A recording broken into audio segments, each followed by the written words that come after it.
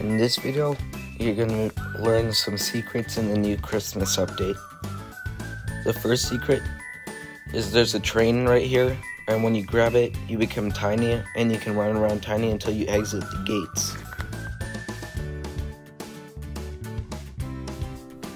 There are some ornaments around all the maps, and you can put them on the Christmas tree. And on the Christmas tree, the lights will light up, and the gorilla on the top will spin.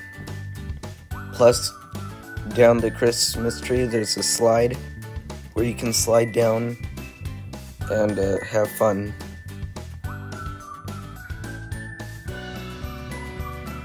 There's this small map in the caves that is a present.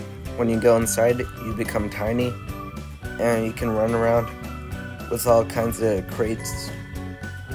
And to escape, you can just go up the ramp. And if you get Bryce the Bat to come along with you into it, there's something that he can do.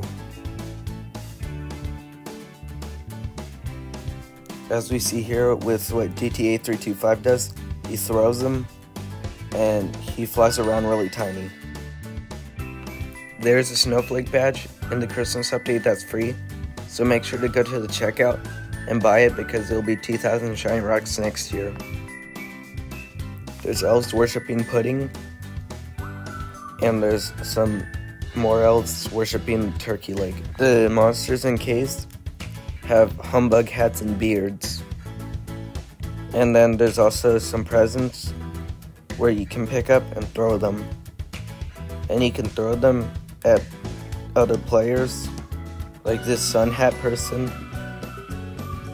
And you can just pick them up and take them wherever you want and throw and hit people.